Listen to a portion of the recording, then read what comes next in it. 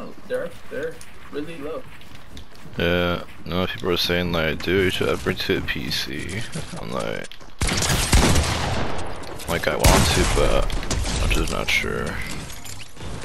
I would if I was you. Yeah.